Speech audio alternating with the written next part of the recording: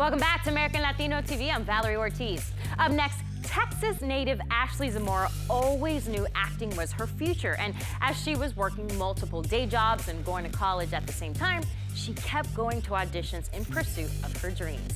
And after booking a breakthrough gig as a series regular on none other than George Lopez's new TV land show, Lopez, this Cuban American talent can rest assured she has arrived to Hollywood. And coming up, she makes her first stop right here on American Latino TV. Dad, where are we going?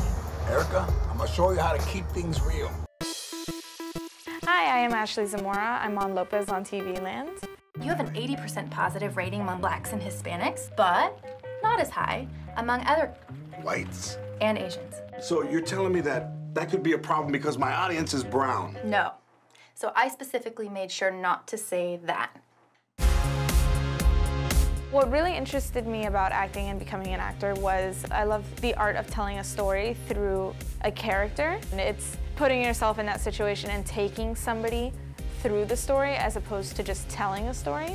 And so that's what really interests me, and it's so interesting to get to explore different characters and different types of people and different ways of thinking. Dad, I'm going to take a gap year. You're not dropping out of high school. Of course not. I'm taking a gap year. You're not dropping out, you're not gapping out, you're not dropping into a gap, but if you work at a gap, I'll be right there, I'll drop you off every day. Lopez is George Lopez's new show. He's the star of the show. It follows him. It's a really interesting take for George to do this because it's not shot like a sitcom. It's shot single cam, there are no laugh tracks, it's a lot more realistic, which is different from a lot of the things that George has done. It also follows George Lopez as himself, a comedian. A lot of the things that have happened to him in real life, they bring it up in the show and just kind of like make jokes about it. Quite a few of the series regular cast members were rookies. It's our first series regular, including myself. And so we always kind of looked up to George to set the tone and let us know, you know, how everything was gonna go. And for me, I learned that, you know, you always come in, no matter what's going on, you always have to come in and give 110%. Oh my God. Isn't this great? So the rumors are true? We lost all our money? Lost all our money. What are you talking about? Erica is George's 16-year-old daughter, so she's in high school, she's young, she's figuring out who she is and what she wants in the world. And so it's almost kind of like she has her own storyline. Like George and all the characters are doing their thing. And Erica's off kind of like doing her own thing. She's in school with her friends.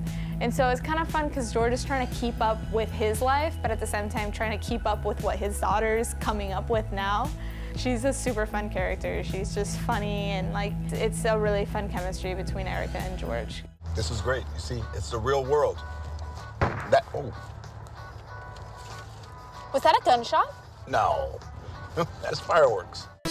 It's really cool to be part of a Latino cast. I mean, uh, the show has a lot of diversity, a lot of different types of people, which is really cool. So it has something that I think everybody can relate to. You know, especially in a day like today, it's very important to have a lot of diversity in a show because I think um, in the United States, people are starting to realize like, wow, a lot of different cultures are underrepresented.